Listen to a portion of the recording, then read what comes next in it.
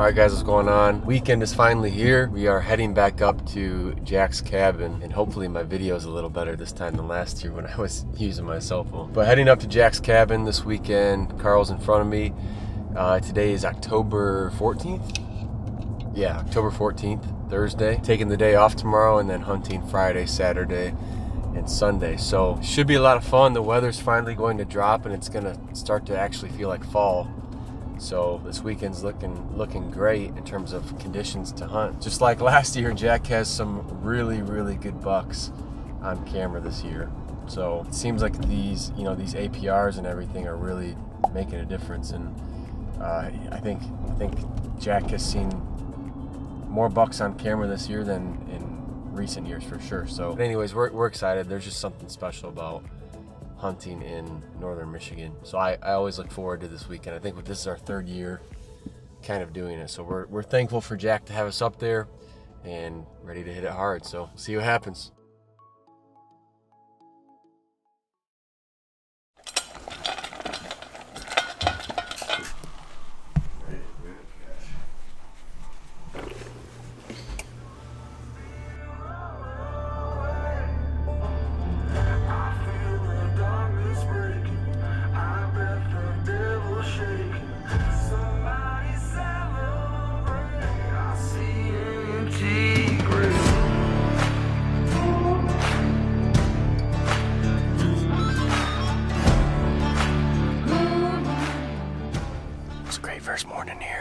Calm, still morning, almost no wind, only thermals in play.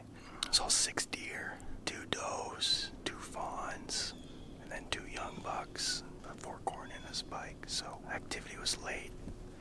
Overall, most of them came through. All of them came through between nine and ten o'clock.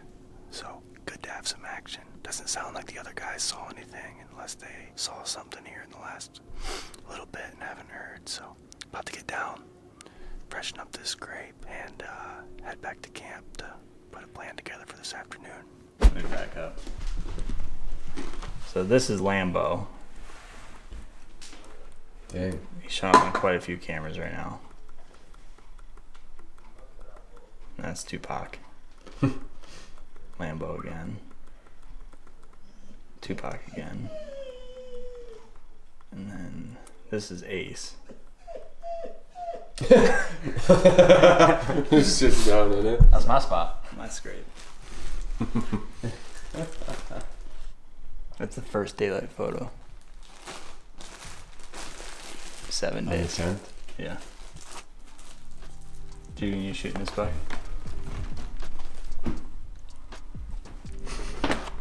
Yeah.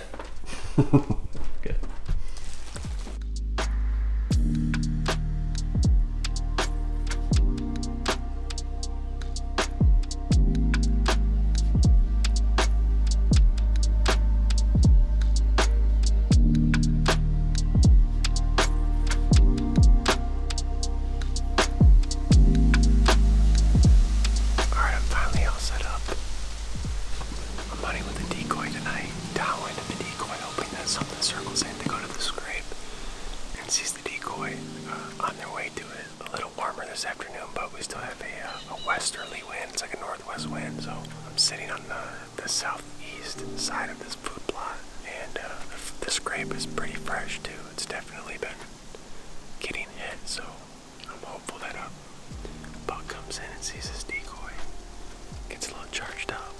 I think I'm gonna do some grunting and rattling tonight too. One of the uh, one of the guys that hunts here said he saw a buck chasing a doe last night, so I'm hoping that means that they're starting to get a little little more aggressive too. We'll see.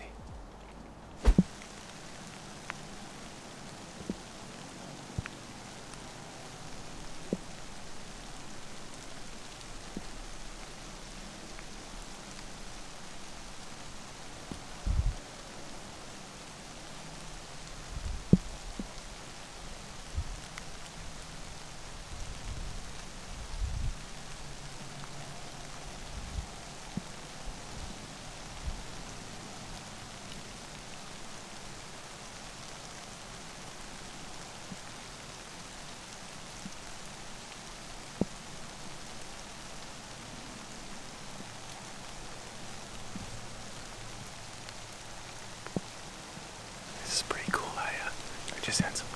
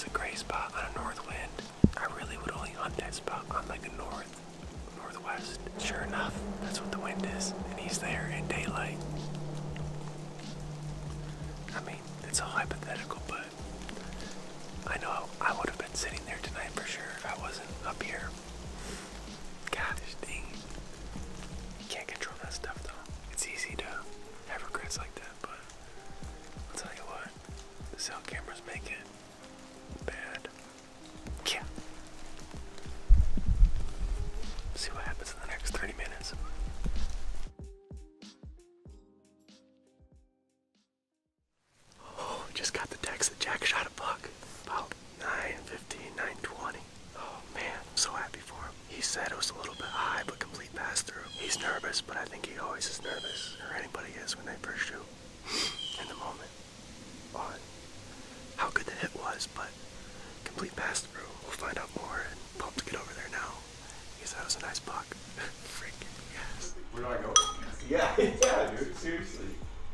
So the one, this one's buck, this one's coyote. Coyote, Oh, uh, okay. I found, no problem. What do the colorblind guys say?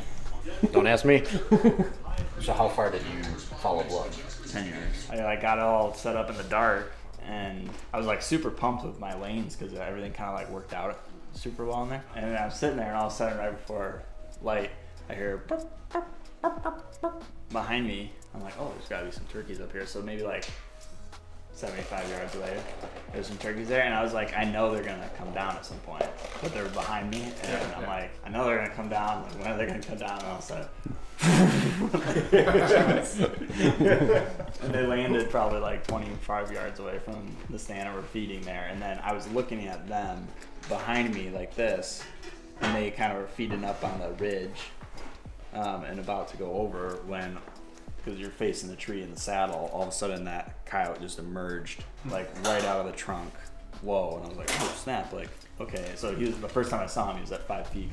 he came with the tree blocking me the whole time.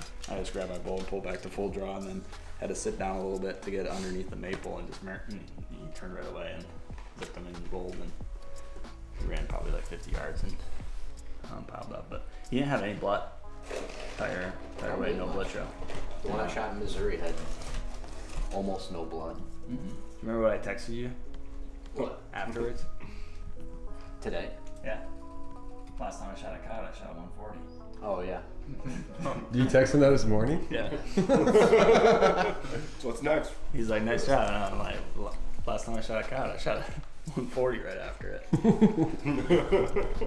You're gonna go track it when we go hunt tonight. You're saying?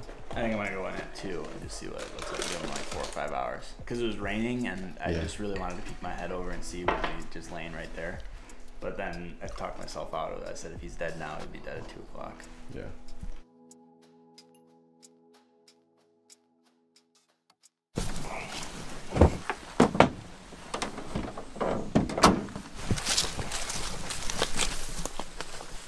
This is the trail that he came on right here. Okay.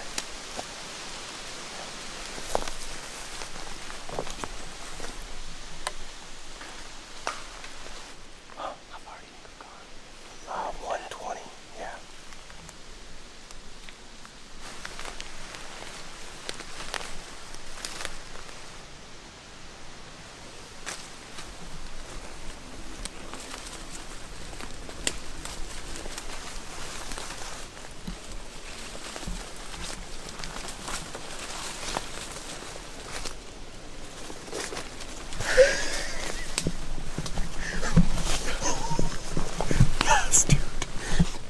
real nervous. I was like, either he's busting out of here or he's dead in here. But I love the fact that he was coming in here to crash, but we, we didn't see him right away. When you get him in the stick stuff. Oh, my gosh, cow. My shot wasn't as bad as I thought. No, no, dude. He's one of the gravel pit bucks too. Jack, that's a pretty awesome dude. Oh, that's a Beautiful eight point oh on the DRCA. I think possibly my biggest bull buck up here. Just broomed right off. Yeah. Wow. You think they probably went in here? or, or which, I think I had pictures of them. They were dropping. Like they were like. That's I actually used to call him grapple because he would look like that. He, he doesn't look like he bedded down at all. It just looks like he fell right here. He crashed for sure. Dude, Thanks for being here, man. dude, thanks for having us. This is freaking. Couldn't be happier for you, man.